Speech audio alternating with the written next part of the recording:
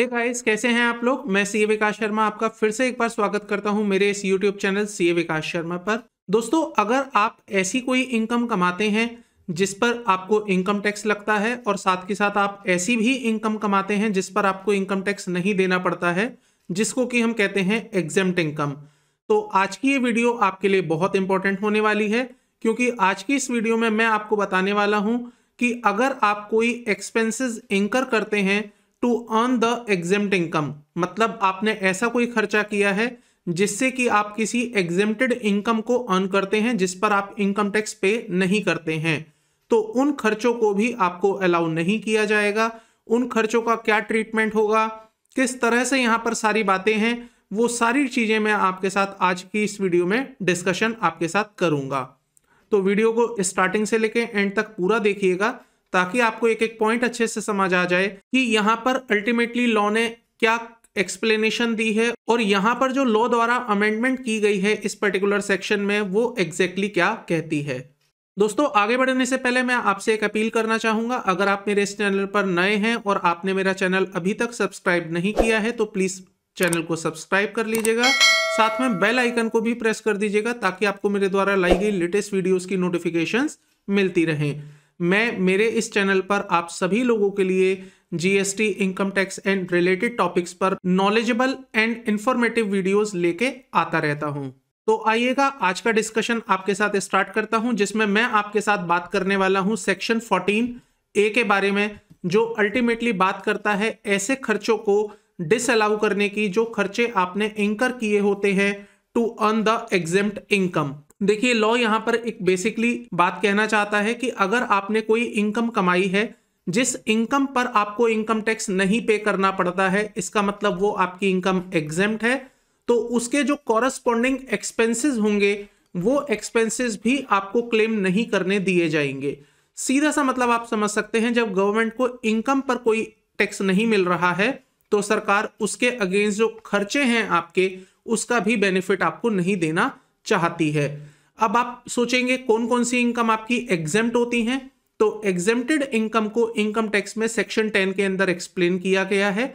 There are so many incomes which are exempt under the income tax act जिस पर आपको कोई भी इनकम टैक्स पे नहीं करना होता है। Earlier dividend was exempt under section ten लेकिन अब क्योंकि डिविडेंड एग्जेम्प्ट नहीं रहा है, अब डिविडेंड टैक्सेबल हो गया है। बट स्टिल डिविडेंड के अलावा ऐसी बहुत सारी इनकम है जो सेक्शन टेन में डिफाइन की गई हैं कि किन किन इनकम पर आपको इनकम टैक्स पे नहीं करना होता है। तो आइएगा, आगे की बात कर लेता हूँ। ये बेसिकली सेक्शन 14 ए अल्टीमेटली कहता क्या है? So section 14 A says it provides that no deduction shall be allowed in respect of the expenditures incurred by the assessee in relation to income that does not form part of the total income that is the exempt income it means यहाँ पर सरकार ये कहना चाहती है, अगर आपने कोई भी खर्चा किया है, ऐसी इनकम को कमाने पर, जिस इनकम पर आप इनकम टैक्स पे नहीं करते हैं, इसका मतलब वो इनकम आपकी एग्जेम्प्ट इनकम होती है तो हम उन खर्चों की भी आपको कोई भी डिडक्शन यहाँ पर अलाउ नहीं करेंगे। ऐसा सेक्शन 14 ए हमारे इनकम टैक्स में बात कहता है कि उन खर्चों की आपको डिडक्शन नहीं दी जाएगी। इस एग्ज़ाम्पल को समझ के देखते हैं। कि अल्टीमेटली ये सेक्शन कैसे एप्लीकेबल हो रहा है। तो देखिए, मान लीजिए, आप बिज़नेस कर रहे हैं या आप कोई इनकम कमा रहे हैं जो कि नॉन एग्जेम्प्टेड इनकम है, और यहाँ पर मैंने एक रखा है पचास हज़ार रुपए एग्जेम्प्टेड इनकम अब आपने यहाँ पर खर्चे करे हैं पैंसठ हज़ार रुपए, वो खर्चे जो कि आपने नॉन एग्जेम्प्टेड इनकम को कमाने के लिए खर्च करे थे, और आपने बीस हज़ार रुपए का खर्चा किया है एग्जेम्प्टेड इनकम को अर्न करने के लिए। तो लॉ यहाँ पर बड़ा क्लियर है, जो ये कहता है कि ये जो बीस हज़ार रुपए का खर्चा होगा, ये हम आपको डिसअलाउ कर देंगे। इसका मतलब इस खर्चे की आपको डिडक्शन नहीं मिलेगी, इस खर्चे का आपको बेनिफिट नहीं मिलेगा। और यहाँ पर जो आपकी इनकम टैक्सेबल होगी, वो एक लाख पंद्रह हज़ार रुपए प्लस बीस हज़ार रुपए टोटल मिलाकर जो इनकम आपकी आई है दैट इज़ एक लाख पैंतीस हज़ार रुपए, वो टैक्सेबल हो जाएगी। और इसमें से ये पचास हज़ार भी माइनस कर दिए जाएँगे, क्योंकि ये आपकी एग्जेम्प्टेड इनकम है। तो अल्टीमेटली आपको एक लाख पैंतीस हज़ार में से पचास हज़ार और माइनस करके जो आपका अमाउंट बचेगा, उस पर आपको इनकम टैक्स पे करना होगा। अगर मैं आपसे नेट शेल में बात करूँ तो ये डेढ़ लाख रुपए की आपकी नॉन एग्जेम्प्टेड इनकम है और ये नॉन एग्जेम्प्टेड इनकम के अगेंस्ट एक्सपेंसेस हैं तो आपको जो इनकम टैक्स पे करना होगा, वो डेढ़ लाख रुपए माइनस पैंसठ हज़ार रुपए जो भी आपकी इनकम बचेगी, वो इनकम आपकी टैक्सेबल हो जाएगी। तो यहाँ पर कोई कंफ्यूजन नहीं है। दोस्तों, बड़ी ही क्लियर सी सिचुएशन है। अगर आपने कोई इनकम कमाई है, उसके अगेंस्ट आपने कोई खर्चे किए हैं तो वो जो खर्चे होंगे, वो आपके डिसअलाउ कर दिए जाएँगे। उन्हें कंसिडर नहीं किया जाएगा जब भी आपकी इनकम कंप्यूट की जाएगी। इसका मतलब ये बीस हज़ार रुपए का आपको कोई भी बेनिफिट नहीं मिलने वाला है। लेकिन अब यहाँ पर एक इशू अराइज हुआ, और ये इशू ऐसा नहीं है। अभी हाल ही में अराइज हुआ है। ये इशू काफ़ी समय से अराइज होता हुआ आ रहा है और यहाँ पर सीबीडीटी द्वारा एक सर्कुलर भी लाया गया था इस इशू को रिजॉल्व करने के लिए। अब सर्कुलर क्योंकि आपको पता है, कभी भी एसएससी के ऊपर बाइंडिंग नहीं होते हैं, ये बाइंडिंग होते हैं ऑन द डिपार्टमेंट तो एसएससी इन सर्कुलर्स को चैलेंज किया करता था इन द कोर्ट अब पहले समझ लेते हैं इशू क्या था, उसके बाद फिर समझते हैं कि कोर्ट का ओपिनियन क्या आया यहाँ पर। तो over the year dispute have been arisen in respect of whether the disallowances under section 14a of the act can be made in cases where no exempt income has been accrued, arisen or received by the assessee during an assessment year. तो issue यहाँ पर यह आया दोस्तों कि अगर असस्सी ने कोई एग्जेम्प्ट इनकम नहीं कमाई है और वहाँ पर उसने ऐसे खर्चे करे हैं जो कि एग्जेम्प्ट इनकम को कमाने के लिए किए जाते हैं तो क्या उन खर्चों की उस केस में उसको डिडक्शन दी जाएगी? क्या उसको बेनिफिट दिया जाएगा? आइए इसी बात को एक एग्ज़ाम्पल के थ्रू समझते हैं। मान लीजिए आप प्रॉफिट एंड लॉस अकाउंट देख रहे हैं। यहाँ पर डेढ़ लाख रुपए की नॉन एग्जेम्प्टेड इनकम कमाई गई है और एग्जेम्प्टेड इनकम यहाँ पर ज़ीरो है, लेकिन एसएससी ने अभी भी बीस हज़ार रुपए खर्च करे हैं to earn the exempt income इसका मतलब उसने इनकम नहीं कमाई, लेकिन खर्चे तो उसने फिर भी किए हैं। सो यहाँ पर अब हमें यह समझना है क्या हमें इस बीस हज़ार रुपए का बेनिफिट मिल जाएगा? क्या हमें इसकी डिडक्शन यहाँ पर अलाउ हो जाएगी? तो अगर मैं सेक्शन की बात करूँ, अगर मैं सर्कुलर की बात करूँ तो सर्कुलर यहाँ पर कहता है कि आपको ये बीस हज़ार रुपए की डिडक्शन नहीं दी जाएगी। तो एक सर्कुलर सीबीटीटी लेके आई थी। Circular number five by two thousand fourteen dated ग्यारह दो दो हज़ार चौदह, जिसमें सीबीटीटी ने रूल एट डी क्लैरिफाई किया था और बताया था कि अगर सेक्शन फोर्टीन ए के अंदर डिसअलाउंसेस हो रही है तो आपको खर्चे अलाउ नहीं किए जाएँगे, भले ही आपने कोई एग्जेम्प्टेड इनकम नहीं कमाई है। Even where the taxpayer in a particular year has not earned any exempted income, वहाँ पर भी आपके ये खर्चे डिसअलाउ कर दिए जाएँगे। इसका मतलब दोस्तों सिचुएशन बड़ी क्लियर सी है। चाहे आपने एग्जेम्प्टेड इनकम कमाई है या चाहे आपने एग्जेम्प्टेड इनकम नहीं कमाई है, इस केस में आप देख सकते हैं कमाई गई है और इस केस में आप देख रहे हैं नहीं कमाई गई है तो ये बीस हज़ार रुपए आपके डिसअलाउ ही किए जाएँगे। लेकिन ऐसा लॉ में नहीं क्लैरिफाई था, यहाँ पर सीबीटीटी ने सर्कुलर के थ्रू इस बात को क्लैरिफाई किया था।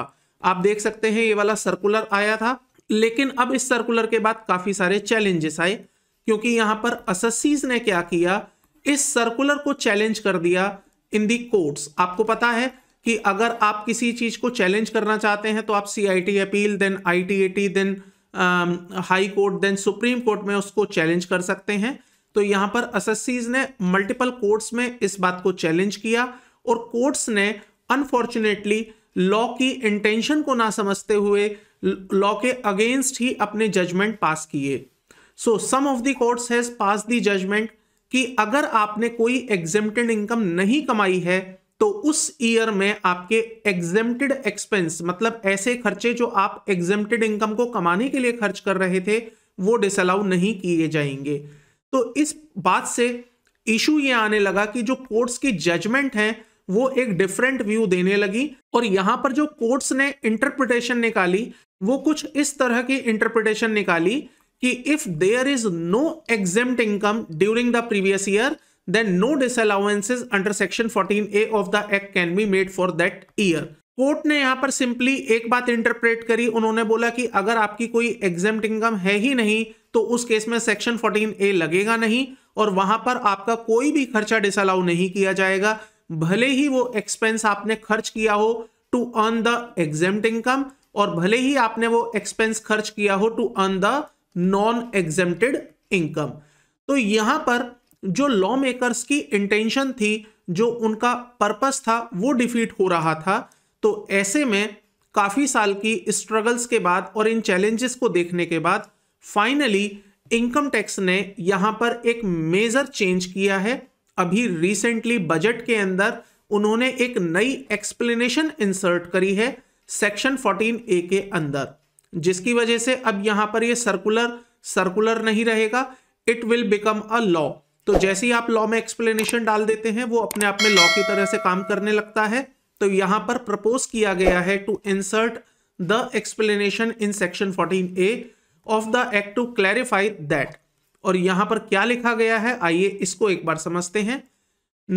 Notwithstanding anything to the contrary content in this act the provision of this section shall be apply and shall be deem to have always applied in a case where the exempted income has not accrued or arisen or has not been received during the previous year relevant to the assessment year and expenditure has been incurred during the said previous year in relation to such exempt income तो यहाँ पर explanation में यह बात बोली गई है कि अगर आपने कोई खर्चा किया है और वो खर्चा आपने किया है to earn the exempted income भले ही आपने कोई एग्जेम्प्टेड इनकम कमाई है या आपने कोई एग्जेम्प्टेड इनकम नहीं कमाई है, हम आपके उस वाले खर्चे को, जो खर्चा आपने किया होगा to earn the exempted income भले इनकम नहीं कमाई आपने, वो खर्चा भी हम आपका डिसअलाउ कर देंगे irrespective of anything contained in any other provision तो यहाँ पर इन्होंने नॉट विद स्टैंडिंग करके इस सेक्शन की स्टार्टिंग करी। इसका मतलब बाकी सब जगह जो भी लिखा है, वो सब बेकार हो जाएगा। और ये एक्सप्लेनेशन जो कहती है दैट विल बी सफिशियंट और इस एक्सप्लेनेशन के मुताबिक अगर आप कोई खर्चा करते हैं, जो कि ऐसी इनकम के लिए किया गया है, जो इनकम अपने आप में एग्जेम्प्टेड इनकम होती है इनकम टैक्स एक्ट में तो वो खर्चे की हम आपको डिडक्शन नहीं देंगे। भले ही आपने इनकम कमाई है या भले ही आपने इनकम नहीं कमाई है, ये खर्चा आपका अलाउ नहीं किया जाएगा। और दोस्तों, यहाँ पर मैं आपको एक और बात बता दूँ। This amendment will take effect from the first April 2022 इसका मतलब ये वाली जो अमेंडमेंट होगी, वो असेसमेंट ईयर 22-23 से एप्लीकेबल हो जाएगी। और साथ ही साथ जो आने वाले ईयर होंगे, उन पर भी ये एप्लीकेबल रहेगी। तो यहाँ पर एक बहुत बड़ी राहत ये दी गई है कि ये रेट्रोस्पेक्टिव एक्सप्लेनेशन नहीं आई है, यहाँ पर प्रोस्पेक्टिव ही आएगी और ये एप्लीकेबल हो रही है एक अप्रैल 2022 से। तो अगर आपके केस में ऐसी कोई इनकम आती है जो कि एग्जेम्प्टेड इनकम है और आप उसके कॉरेस्पॉन्डिंग कोई खर्चे करते हैं जो कि ऐसी इनकम को कमाने के लिए खर्च किए जाते हैं जो कि अगेन अपने आप में एग्जेम्प्टेड है तो आपको इस बात का एक खास ध्यान रखना है, क्योंकि आपके केस में सेक्शन 14 ए एप्लीकेबल करते हुए वहाँ पर डिसअलाउंसेस की जाएँगी। तो आप प्रॉपरली इन चीज़ों को प्लान करें और पहले से पहले अपनी इस डिसअलाउंसेस को करवाएँ ताकि बाद में आपको डिपार्टमेंट की तरफ़ से किसी भी तरह की प्रॉब्लम का या नोटिस का सामना ना करना पड़े। दोस्तों आई होप आपको ये पूरा सेक्शन 14 ए और उसके साथ में नई वाली एक्सप्लेनेशन जो कि अभी रिसेंटली बजट में प्रपोज की गई है और ये एक अप्रैल 2022 से एप्लीकेबल हो रही है। ये सारी बातें आपको क्लियर हो गई होंगी और आप अपने इन केसेस में अकॉर्डिंगली प्लानिंग कर पाएँगे। दोस्तों, अगर आपको आज की इस वीडियो से रिलेटेड या मेरी किसी भी प्रीवियस वीडियो या किसी भी टॉपिक से related income tax and GST and related topic में कहीं पर भी आपको कोई क्वेरी है, कोई डाउट है और आप मुझसे कनेक्ट होना चाहते हैं तो आप मुझसे मेरे दिए गए फ़ोन नंबर पर, जो कि मेरा व्हाट्सएप नंबर भी है, आप इस पर कनेक्ट हो सकते हैं। आप अपनी क्वेरी मुझे ईमेल कर सकते हैं। इवन आप मुझसे मेरे फेसबुक अकाउंट पर या इंस्टाग्राम अकाउंट पर भी जुड़ सकते हैं। मैं डेफिनेटली इन सब जगह पर आपकी क्वेरीज आंसर करता हूँ और आपके लिए इसी तरह की इंफॉर्मेटिव एंड नॉलेजेबल वीडियोस लेके आता रहता हूँ। दोस्तों, अगर आपको ये वीडियो पसंद आई है तो प्लीज़ वीडियो को लाइक कर दीजिएगा, साथ में चैनल को सब्सक्राइब कर लीजिएगा और बेल आइकन को भी प्रेस कर दीजिएगा ताकि आपको मेरे द्वारा लाई गई लेटेस्ट वीडियोस की नोटिफिकेशंस मिलती रहें और मेरे द्वारा लाई गई कोई भी वीडियो आपसे मिस ना हो। आज की इस वीडियो में इतना ही रखते हैं दोस्तों। जल्दी ही मिलता हूँ आपके साथ नेक्स्ट वीडियो में नेक्स्ट किसी टॉपिक के साथ। तब तक के लिए थैंक यू बाय